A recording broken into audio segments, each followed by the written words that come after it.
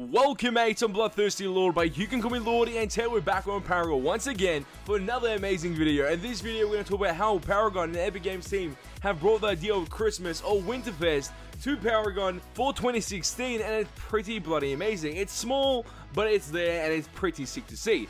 So we're going to go through that and tell you everything that you need to know for the Christmas stuff that in-game at this current moment. But before we get into this video, make sure you hit that like button and subscribe button to keep up to date with all the greatest and latest Paragon Gaming content and Paragon Gaming news. And if you haven't yet, make sure you turn on notifications by hitting that little bell button next to the subscribe button so you have the chance of becoming one of the first mates on the channel up to date with my amazing Paragon Gaming content. And as always, expected here first. So without further ado, let's get straight into this video. So I did mention in my last video, if you go around the store and you go look at certain parts of the store, say if you're around the skins, you'll be able to see the actual snow effect in the background of the actual skin. So if we go over to Shadow Ops, you can see the little snow particles right behind him. So it's pretty sick, something subtle, something pretty nice for the actual theme of Christmas being in Paragon. So I actually like it, it's pretty sick. Nothing too crazy though. Then you can go actually to the other parts of the actual game as well. If you go over to Profile Overview, and if you had compacts, it's usually snow particles in the background. You can see subtle snow particles. I've opened some compacts today, so you might see some on screen right now,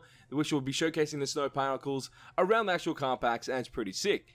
But that's still subtle things. You can also check if you go onto your actual heroes on your profile, and you can also see it there. As you can see with my new Arctic Frost skin, you can also see the snow effect right behind her.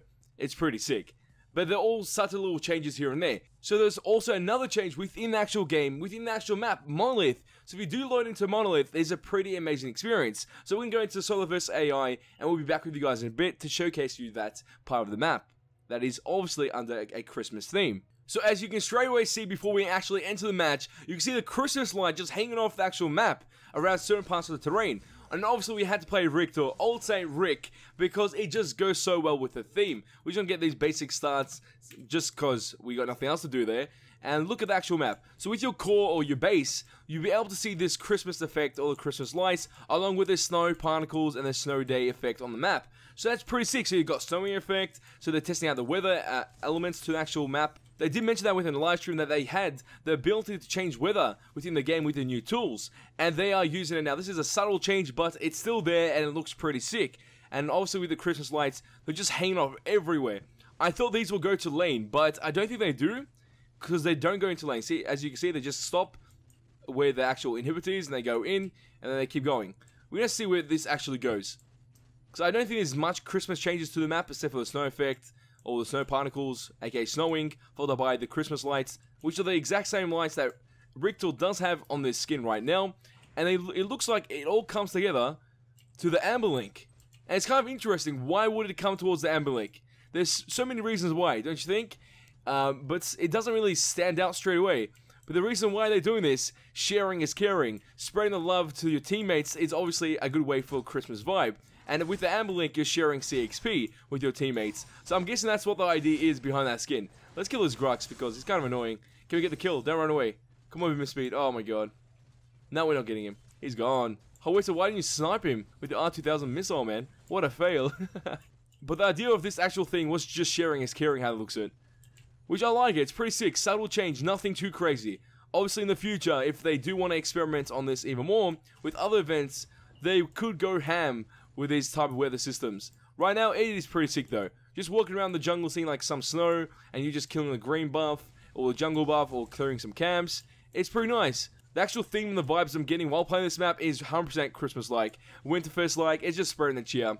And it's so amazing to actually experience that in Paragon, especially on this map, Monolith, that just came out recently. So they have been putting in some work with the weather system and some other interesting aspects because this was not mentioned anywhere at all that they were going to integrate a Christmas theme for Monolith or Christmas anything within Paragon. The only thing that we knew of was the Winterfest skins, and those getting released today are for sale, and obviously going to end at January 9th.